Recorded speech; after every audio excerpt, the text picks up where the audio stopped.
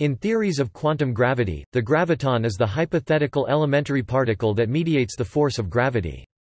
There is no complete quantum field theory of gravitons due to an outstanding mathematical problem with renormalization in general relativity. In string theory, believed to be a consistent theory of quantum gravity, the graviton is a massless state of a fundamental string. If it exists, the graviton is expected to be massless because the gravitational force is very long range and appears to propagate at the speed of light.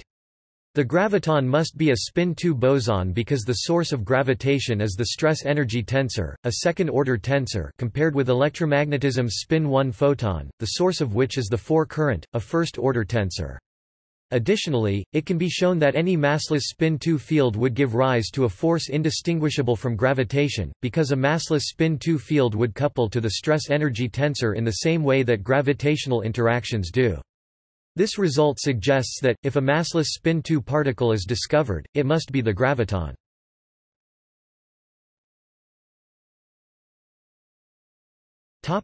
Theory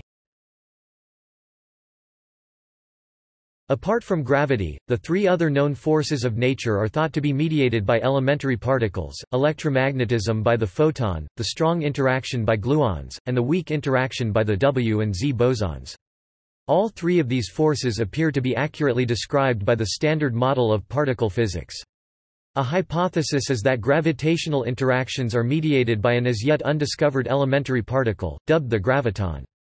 In the classical limit, the theory would reduce to general relativity, which itself reduces to Newton's law of gravitation in the weak field limit. The term graviton was originally coined in 1934 by Soviet physicists Dmitry Blokhintsev and F. Galperin.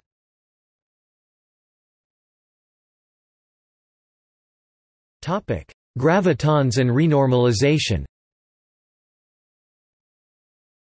When describing graviton interactions, the classical theory of Feynman diagrams, and semi-classical corrections such as one-loop diagrams behave normally. However, Feynman diagrams with at least two loops lead to ultraviolet divergences. These infinite results cannot be removed because quantized general relativity is not perturbatively renormalizable, unlike quantum electrodynamics models such as the Yang-Mills theory. Therefore, incalculable answers are found from the perturbation method by which physicists calculate the probability of a particle to emit or absorb gravitons, and the theory loses predictive veracity.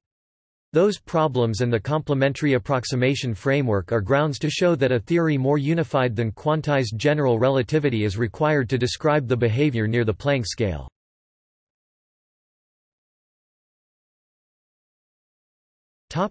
Comparison with other forces Like the force carriers of the other forces see charged black hole, gravitation plays a role in general relativity, in defining the spacetime in which events take place.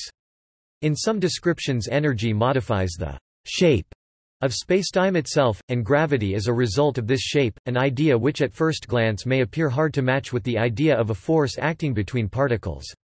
Because the diffeomorphism invariance of the theory does not allow any particular spacetime background to be singled out as the true spacetime background, general relativity is said to be background independent. In contrast, the Standard Model is not background independent, with Minkowski space enjoying a special status as the fixed background space-time. A theory of quantum gravity is needed in order to reconcile these differences. Whether this theory should be background independent is an open question. The answer to this question will determine our understanding of what specific role gravitation plays in the fate of the universe.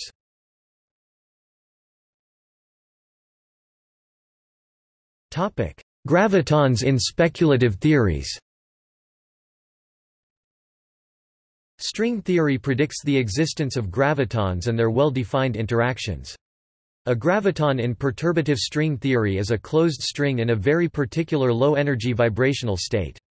The scattering of gravitons in string theory can also be computed from the correlation functions in conformal field theory, as dictated by the ADS-CFT correspondence, or from matrix theory. A feature of gravitons in string theory is that, as closed strings without endpoints, they would not be bound to branes and could move freely between them. If we live on a brane as hypothesized by brane theories, this leakage Of gravitons from the Brane into higher dimensional space could explain why gravitation is such a weak force, and gravitons from other Branes adjacent to our own could provide a potential explanation for dark matter. However, if gravitons were to move completely freely between branes, this would dilute gravity too much, causing a violation of Newton's inverse square law. To combat this, Lisa Randall found that a 3 brane such as ours would have a gravitational pull of its own, preventing gravitons from drifting freely, possibly resulting in the diluted gravity we observe, while roughly maintaining Newton's inverse square law. See brane cosmology. A theory by Ahmed Farag Ali and Surya Das adds quantum mechanical corrections using Bohm trajectories to general relativistic geodesics. If gravitons are given a small but non-zero mass, it could explain the cosmological constant without need for dark energy and solve the smallness problem.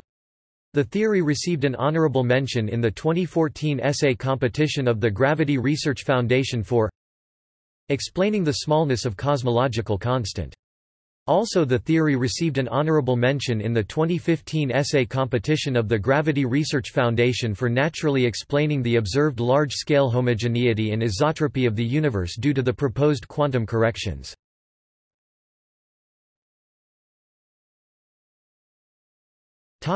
Energy and wavelength While gravitons are presumed to be massless, they would still carry energy, as does any other quantum particle. Photon energy and gluon energy are also carried by massless particles. It is unclear which variables might determine graviton energy, the amount of energy carried by a single graviton.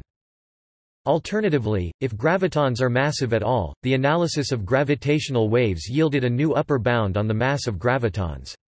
The graviton's Compton wavelength is at least 1.6 times 1016 meters, or about 1.6 light-years, corresponding to a graviton mass of no more than 7.7 times 10^-23 electron volts, C2.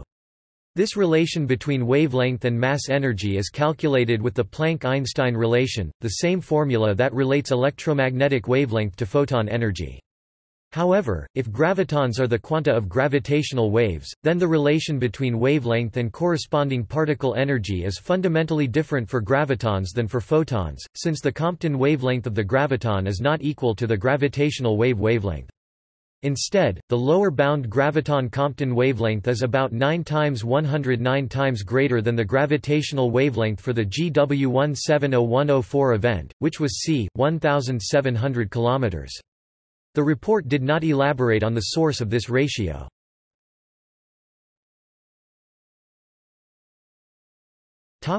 Experimental observation Unambiguous detection of individual gravitons, though not prohibited by any fundamental law, is impossible with any physically reasonable detector. The reason is the extremely low cross-section for the interaction of gravitons with matter. For example, a detector with the mass of Jupiter and 100% efficiency, placed in close orbit around a neutron star, would only be expected to observe one graviton every 10 years, even under the most favorable conditions. It would be impossible to discriminate these events from the background of neutrinos, since the dimensions of the required neutrino shield would ensure collapse into a black hole. LIGO and Virgo collaboration's observations have directly detected gravitational waves. Others have postulated that graviton scattering yields gravitational waves as particle interactions yield coherent states. Although these experiments cannot detect individual gravitons, they might provide information about certain properties of the graviton. For example, if gravitational waves were observed to propagate slower than c the speed of light in a vacuum, that would imply that the graviton has mass however, gravitational waves must propagate slower than c in a region with non-zero mass density if they are to be detectable. Recent observations of gravitational waves have put an upper bound of 1.2 times 10^-22 electron volts, c2 on the graviton's mass. Astronomical observations of the kinematics of galaxies, especially the galaxy rotation problem and modified Newtonian dynamics, might point toward gravitons having non-zero mass.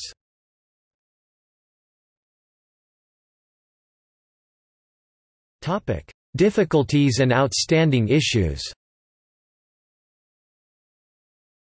Most theories containing gravitons suffer from severe problems.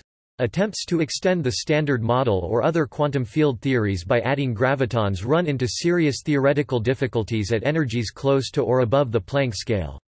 This is because of infinities arising due to quantum effects. Technically, gravitation is not renormalizable. Since classical general relativity and quantum mechanics seem to be incompatible at such energies, from a theoretical point of view, this situation is not tenable. One possible solution is to replace particles with strings.